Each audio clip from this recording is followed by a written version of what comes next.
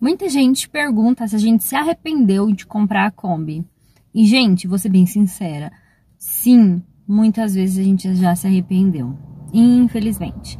Não pense que comprar uma Kombi vai ser mil maravilhas e vai ter todos os momentos bons. Porque, gente, se a gente for pela cabeça só da galera que põe na mídia, tudo é maravilhoso. E não é, vamos ser realistas, né? Não é tudo maravilhoso, não é tudo 100% e não é tudo mundo da, de Bob, né? Não é Alice no País das Maravilhas. Ou até, né? Porque Alice também sofria no País das Maravilhas. Então pode ser, até ser que seja parecido. Mas vamos lá. Eu sou a Tati, você está aqui no canal da família Pé Vermelho na Estrada. Eu junto com meu marido, minhas duas filhas, a gente comprou uma Kombi em agosto de 2020. Construímos um motorhome artesanal nela e adoramos viajar. Tem muita coisa ainda que a gente quer mudar nela. Tem, óbvio, sempre tem algumas coisas que a gente quer melhorar. Mas no momento não tá dando para melhorar. Por quê? Porque os problemas cada vez surgem um novo, né? A gente arruma uma parte do motor, paga, aí tem que arrumar outra, aí quando a gente fala que a gente vai fazer uma coisa na Kombi, uma melhoria, estraga outra coisa da Kombi, e aí nunca tá dando para melhorar nada, porque cada vez a gente tá tendo que ir no mecânico, numa autoelétrica, num negócio de suspensão, de tudo. Cada hora é uma coisa diferente, cada hora é uma é um perrengue diferente para resolver. Eu acho assim que eu não gosto de ficar postando perrengue. Eu prefiro postar viagem e coisa gostosa. Só que eu acho que tem que ser, tem que mostrar a realidade para vocês, que não é um mar de rosas e que não é tudo maravilhoso. Tem seus momentos ruins e tem seus momentos bons. Se você tem vontade de comprar um motorhome, apoio você. Se você construir seu motorhome numa Kombi, totalmente apoiado. Mas não vai achando que você não vai ter problemas, porque você vai ter problemas. Tanto faz quanto numa Kombi, numa van, no ônibus, em qualquer coisa. Todo mundo tem problema. É que a maioria das pessoas não mostra, né? Só mostra as coisas boas. E sim, gente, a Kombi é um carro antigo. Então, não adianta você falar que você vai comprar um carro antigo e você não vai ter investimento. Você pode dar muita sorte do carro que você comprar, ele tá em perfeito estado e você não precisa fazer melhoria, né? Mas nem sempre é isso que acontece.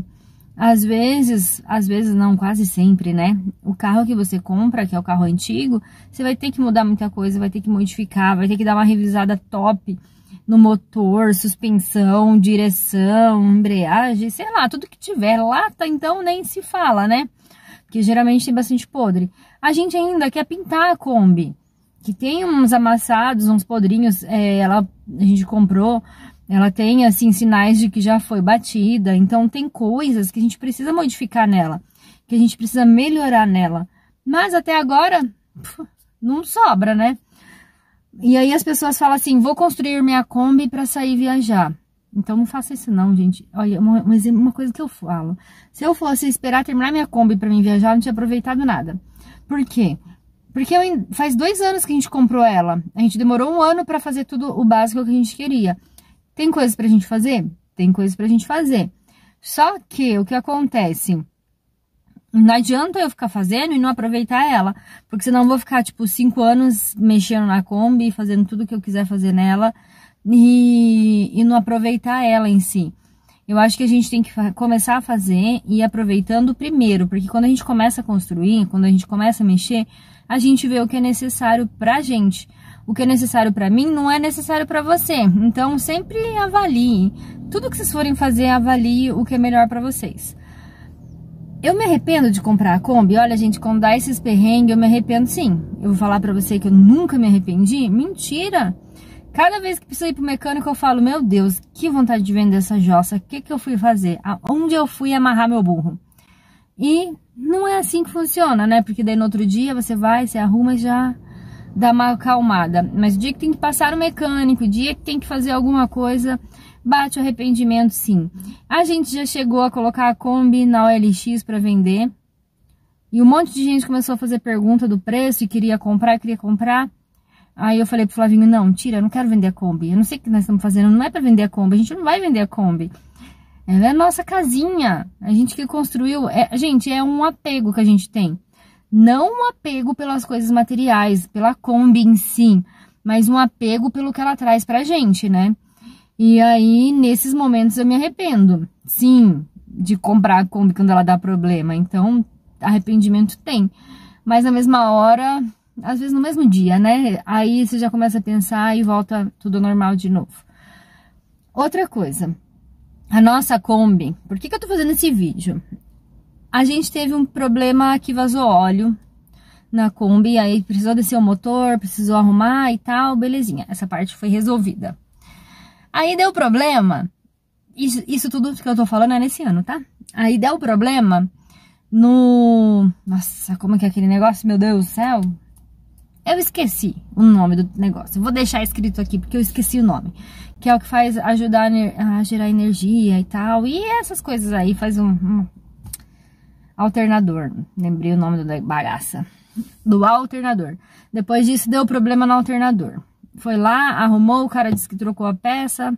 A gente acreditou, leigo, burro, não tá de bosta nenhuma, né? A gente acreditou. E aí começou a continuar dando problema, a gente foi em outro cara, porque aí a, a lenta tava muito ruim, às vezes a Kombi até morria quando estava em primeira, dependendo de como ia ser. E aí foi lá em outro mecânico, e aí o que aconteceu? Foi no mecânico colega nosso, porque aí a parte do alternador era numa autoelétrica. Aí a gente levou pro mecânico amigo nosso, ele viu, deu uma olhadinha, é, mas ele não resolvia esse problema, a gente levou num, numa outra autoelétrica para arrumar. Aí o cara trocou a peça e aí colocou outra peça que também não deu certo. Aí continuou dando problema e começou a dar outro tipo de problema. Aí o nosso mecânico falou que tinha que trocar a peça, aí a gente levou lá para essa autoelétrica para trocar a peça. Porque já estava pago, daí trocou.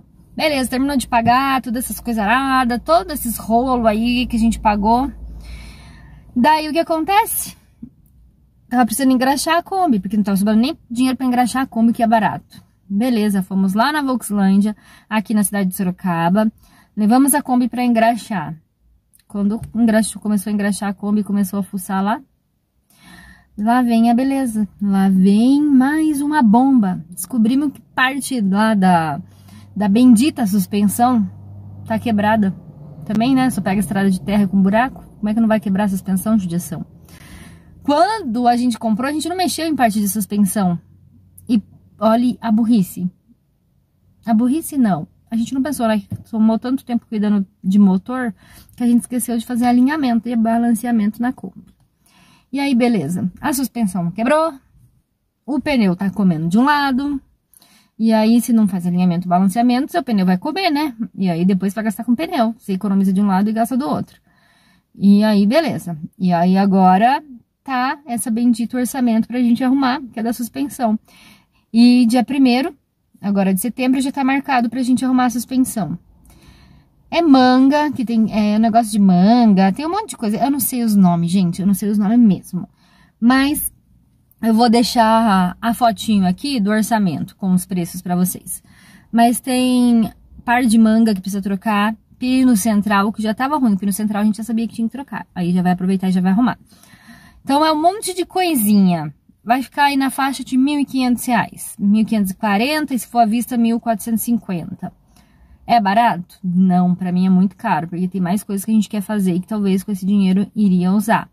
Mas tá bom, vamos fazer, precisa fazer. E é isso que eu quero que vocês entendam, minha gente. É isso que eu quero que vocês entendam. Não é mil maravilhas.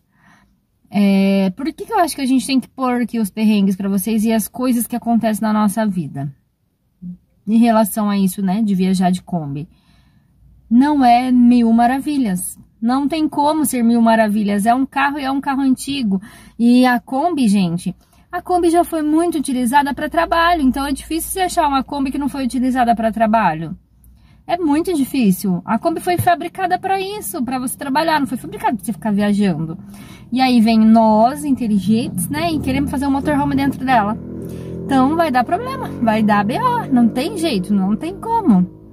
E é isso, é isso que eu queria passar para vocês. Arrependimento vai, vai bater sim, porque bate em mim sempre que a gente precisa que tem algum problema. Mas se toda vez que tiver problema eu desistir do meu problema e não resolver ele, não vai funcionar, né? Então, eu acho que a gente tem sim que tentar resolver os problemas que a gente tem. Porque problema todo mundo tem. Quem tem carro antigo tem problema. Isso já fique na sua cabeça se você tiver vontade de comprar uma Kombi. Mas, ah, olha, a Kombi tem muita coisa boa. A gente já falou em outros vídeos, gente. A Kombi. Gente, a Kombi é a Kombi, né? Não tem nem o que falar. Kombi é fofinha, ela é. Por onde você passa, a galera gosta. E não é que a galera quer falar com a gente, quer falar é a Kombi mesmo. Tem. Pra vocês terem uma noção, é, tem um colega nosso, que é o Ribeiro, que sempre tá viajando com a gente, e muita gente deve conhecer ele. O Ribeiro tem um filho, que é o Pedro. Gente, o Pedro gosta muito da Dominga. Vocês não têm noção como o Pedro gosta da Dominga. Aí esses dias o Flavinho mandou mensagem pra mim, porque o Flavinho trabalha na mesma rua que ele mora. E aí o Pedro falou assim pro Ribeiro: Pai, vamos lá, que eu tô com saudade do meu amigo, quero ver meu amigo, o Flavinho. Aí o Ribeiro levou ele lá pra ver o Flavinho. Vou deixar a foto aí para vocês verem se é o Flavinho que ele queria ver mesmo ou é a Kombi. Porque ele chegou lá, gente, ele abraçou a Dominga. Criança é uma sinceridade maravilhosa, né? Nessa parte, gente, eu tenho que falar para vocês. A Kombi é top. A Kombi é boa. Nesse momento que eu estou gravando o vídeo, que já passou o estresse de tanta coisa para arrumar, eu digo para vocês com toda certeza.